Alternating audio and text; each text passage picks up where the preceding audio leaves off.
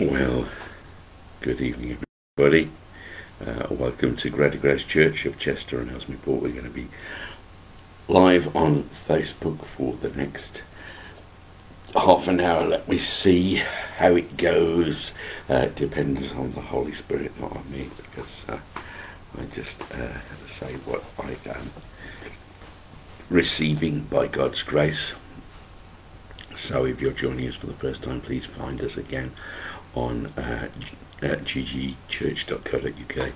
Uh, you can also uh, come and meet with us in uh, Backford, just on the outskirts of the city of Chester, on the road towards Ellesmere Port. Um, yeah, if you're in Ellesmere Port, you probably know where that is as well. Uh, we'd be glad to see you. It's always good to meet in person. It's always good to get together. And uh, God is faithful in all these things. So tonight we're going to be uh, uh, opening God's Word in a moment or two. A little reminder that you can join us on Wednesday night as well, 6 p.m. Um, uh, come and find us uh, again, and on a Sunday morning at 11. Uh, any other details, come and we will give you the details of those uh, other events in person. So tonight, yeah, let's pray. Let's give uh, this time to the Lord and let's just trust Him with every situation that's going on in our lives, uh, knowing that He is there for us. Uh, so Heavenly Father, we just thank you, Lord, tonight. Thank you for your goodness and your faithfulness. Thank you for uh, every blessing that you give us. Thank you for your uh, longevity. Thank you that you are always there, that you do not change, that your character is always the same. Thank you for you, the fact that your heart towards us is all, always the same. And thank you that our salvation is always the same because it is based on what the Lord Jesus Christ has done for us on our behalf on the cross of Calvary and resurrection life uh, from rising again from that empty tomb uh, we thank you, Lord, that that is what this means to us. Uh, it means that uh, our heart is secure and uh, we can trust you and we can build our lives on what you've done. Join with us tonight, Lord, we pray. Meet with us, speak through us, Lord, we pray, uh, by your mercy. And touch hearts, Lord, we ask in the name of our Lord Jesus Christ. Amen. Well, tonight we will um, continue on the theme of the day. We will read from Mark's Gospel, um, chapter 4. And um, it says there in verse 35 And the same day when the even was come, he saith unto them, Let us pass over to the other side. And when they had sent away the multitudes, they took him even as he was in a little ship, and there were also other little ships. And there rose a great storm of wind, and the waves beat into the ship, so that it was now full. And he was in the hinder part of the ship, asleep on a pillow. And they wake him and say unto him, Master, carest thou not that we perish? And he arose and rebuked the wind and said unto the sea, Peace, be still. And the wind ceased and there was great calm. And he said unto them, Why are ye so fearful? How is it that ye have no faith? And they feared exceedingly, and said one to another, What manner of man is this, that even the wind and the sea obey him? And we will maybe also read from uh,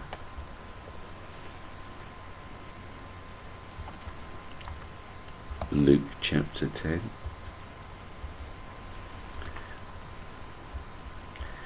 And uh, from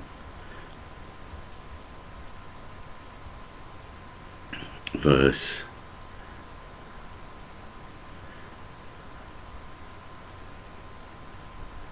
38 it says now it, it came to pass that he went he entered into a certain village and that certain woman named Martha received him into her house. And she had a sister called Mary which also sat at Jesus' feet and heard his word. But Martha was cumbered about, much serving, and came to him and said, Lord, dost thou not care that my sister hath left me to serve alone? Bid her therefore that she help me. And Jesus answered and said unto her, Martha, Martha, Thou art careful and troubled about many things, but one thing is needful. And Mary hath chosen that good part which shall be not taken away from her. Let's pray. Heavenly Father, we just thank you, Lord, for the words that we've read tonight, these two stories, these two different instances. Uh, thank you for your faithfulness in them. Uh, thank you for your heart. And thank you, Lord, that, that uh, you communicate with us. Your desire is to commun communicate with us. Fill us now with your Spirit, Lord, and just anoint that we would know your heart and your thoughts tonight. Thank you for all of your goodness. Thank you for all of your care towards us. And we pray, Lord, now that you would renew us and uh, visit us in your faithfulness now. In the name of our Lord Jesus Christ. Amen. Well, yes, uh, we were saying this morning the connection between those two stories is the question that many people still ask even today, and that is, uh, Lord, do you care? Uh, it's very easy for us to get caught up into situations, into um, the um, problems of our lives, the problems of the, the day, the problems of nations, problems of the whole globe. And the question falls into our mind because does God even care? You know, does God even care what I'm going through? Maybe we've served God for many years. That was the thing for Martha, wasn't it? I, am serving here. I'm doing something for the Lord. Uh, and it's like, oh, well, does God even notice what I'm doing? Um, well, you know what? Actually, there is a verse uh, that says that, isn't there? uh, it just comes to mind now. Uh, it's in Hebrews. Is it? Uh, let me just see if I can find it. Yeah, Hebrews chapter 6, verse 10. It tells us, For God is not unrighteous to forget your work and labour of love, which ye have showed toward him, towards his name, in that ye have ministered to the saints and do minister. When we're tempted to think like Martha and say, you know, does anybody see what I'm doing? It's uh, a good question, isn't it? We were out on the streets um, of Chester this afternoon uh, beautiful weather this uh, bank holiday uh, weekend, uh, unusual. But actually, we went uh, out on outreach um, and talking to people. And at the beginning, it was hard to get into conversations. And there's that temptation thought, isn't there? I didn't actually think that today, but I have done on previous weeks, maybe when it's even more difficult, or the weather is bad, or there's not many people around, and it's like you know, that thought of, does anybody even care that we're out here? Does anybody even notice? Does God even know that we're trying to, to reach people with the gospel? You know, does anyone see? Does anyone care? And and it's like no. It, the point is, God knows what we do. Uh, if God has put it on our heart uh, to go out, then He has fruit in it. Sometimes it is uh, uh, fruit. Pray for the people that we spoke to today. We had some amazing conversations, very open people one guy stopped and talked for probably getting on for an hour. So um, very open, um, really glad to speak, wanted to discuss. Uh, the other guy is one of the other guys as well, was really quite touched as well by what we were able to share. So we don't know what purpose God has in it. And even if we don't talk to anybody, God can be doing things in our heart, working patience in our heart uh, so uh, yeah, let's be encouraged with these things. When when God does something um, through us, that, that was one of the things we did say on the street today. It's like it's not us. We're not out there to do good works. It's the Spirit of God in us who does these things. So if we are doing them in our own natural strength, then yes, we will get frustrated. And there's the implication for uh, for Martha that maybe that's what she was doing. It was just, well, I'm doing this because I think it's the thing I ought to do, rather than actually, you know, sit at Jesus' feet and find out what he desires. Is actually maybe, for Martha's case, uh, Jesus would have been quite happy for her to sit with Mary and for them both to just receive words of life and encouragement and teaching and doctrine and truth and let the other people who, uh, who wanted food uh, take care of themselves, uh, and uh, and there would have been a provision somehow. So it's not that um, Jesus was against it, but actually Jesus was very gentle with her as well. Um, you know, Martha, Martha, you, you, you're caring about these things, and it's understandable. And when we care about things, when we have things on our mind, uh, it doesn't mean that we are ungodly. That's not. Let's get that very clear.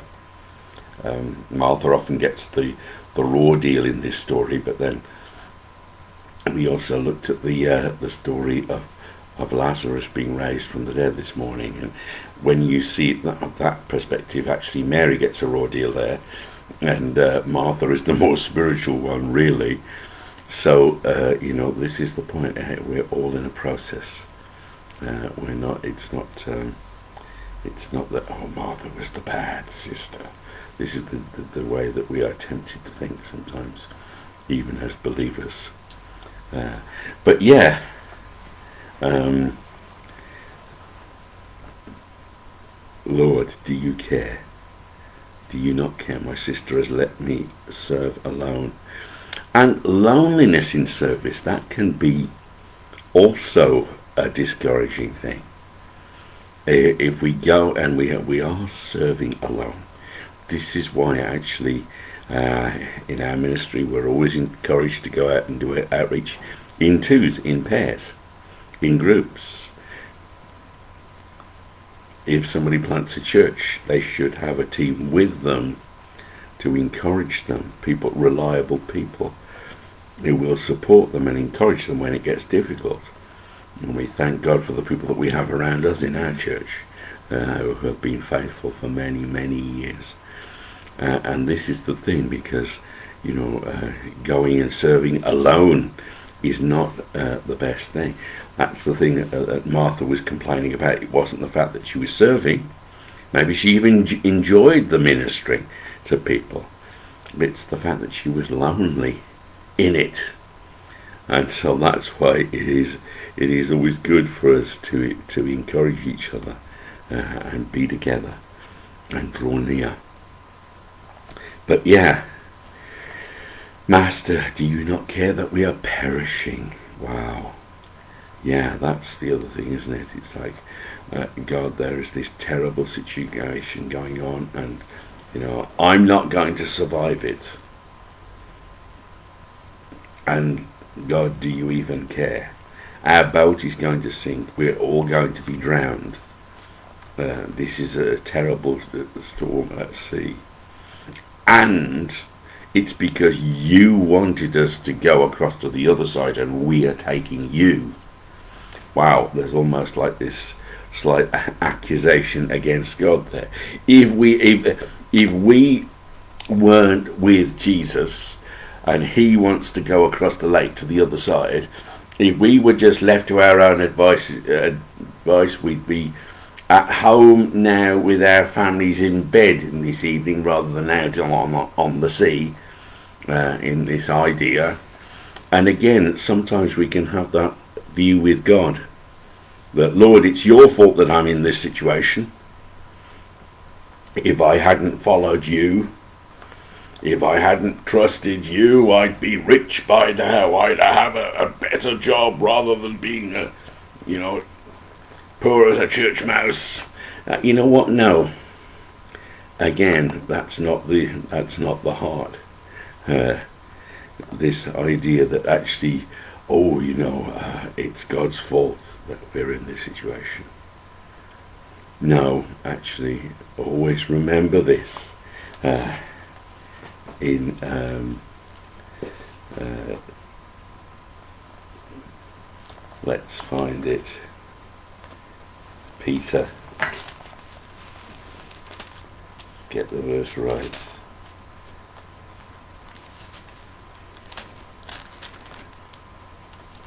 It says. Uh, First Peter 5 7 casting all your care upon him, for he careth for you. You know, that is the question, isn't it? Does God care? Do you not care, Lord?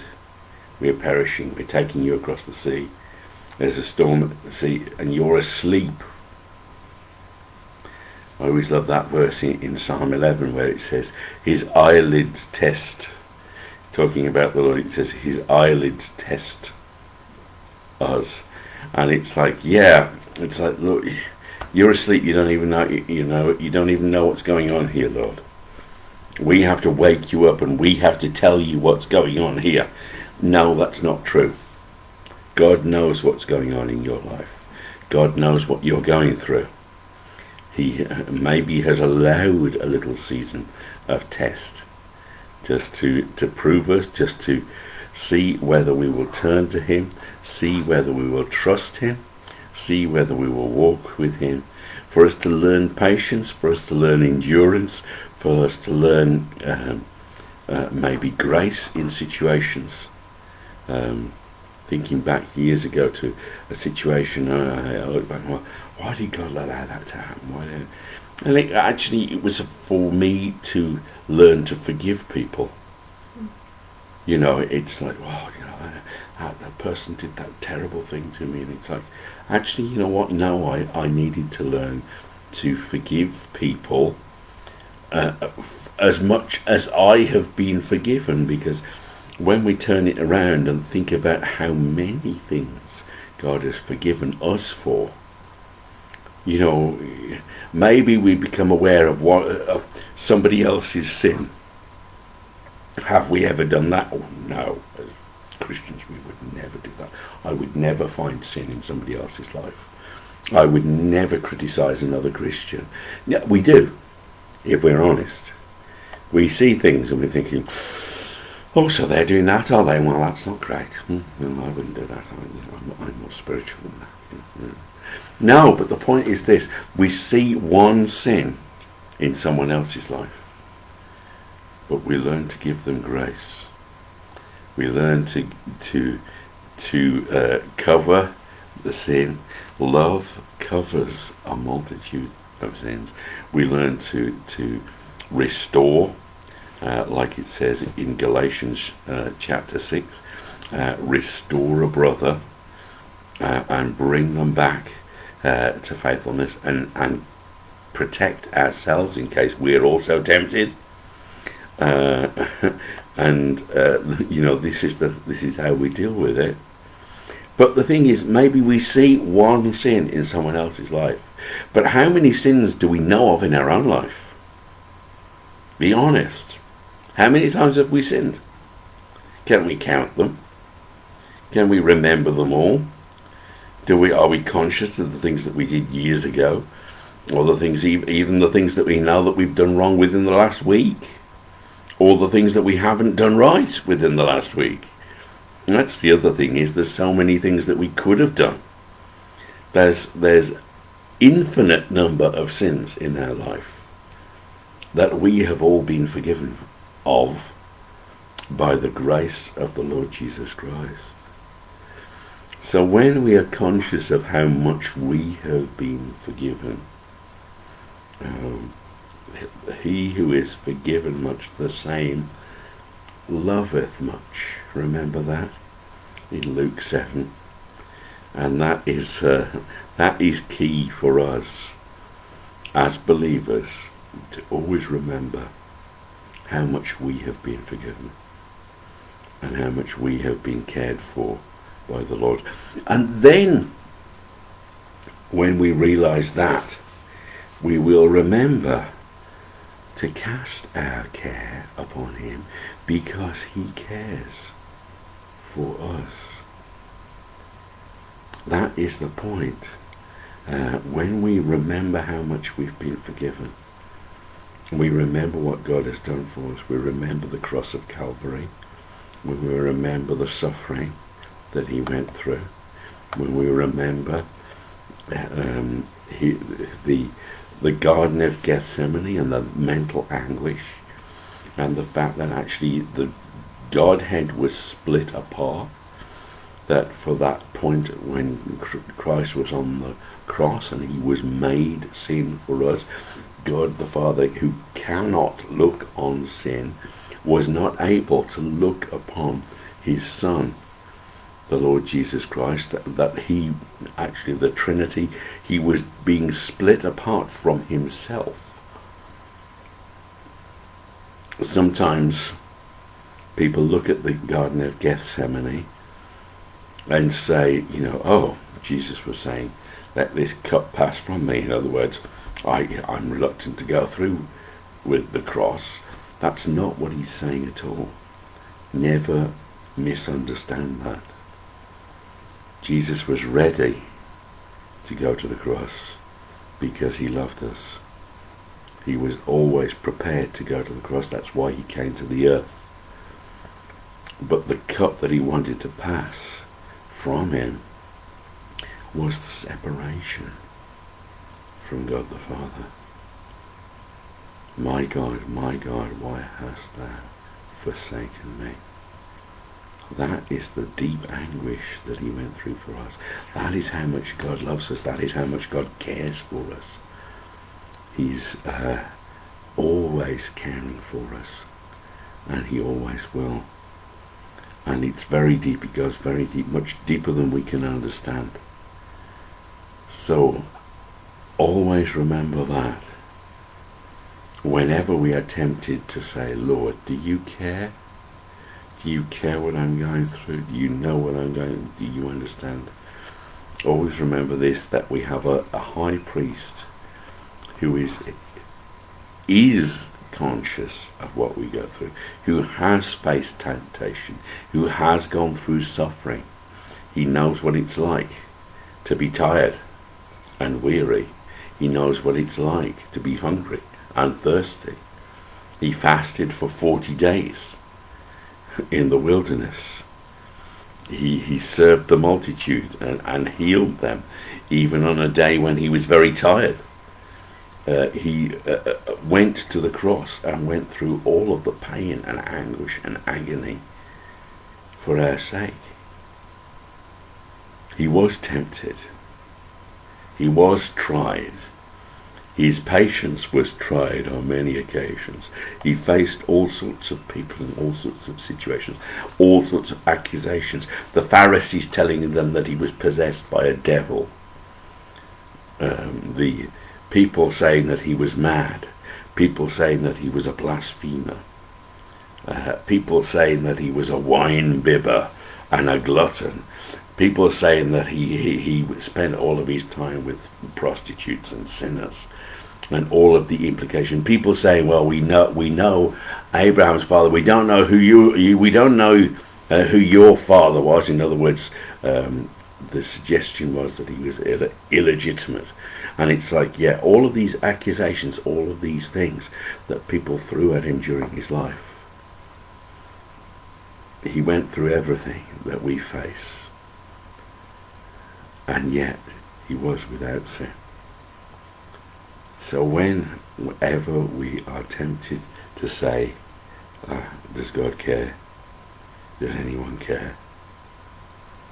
Always remember this, cast all your cares on him because he cares for you.